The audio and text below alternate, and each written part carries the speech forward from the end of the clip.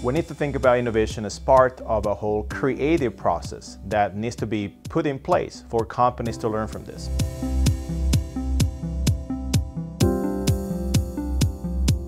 No matter if you are operating inside of a large company or if you're operating inside of a startup. Now we're in a world where the wavelength of your business models is much shorter, so the need for that next idea is significantly faster. Critical uncertainties. What type of scenario can we develop for our organization?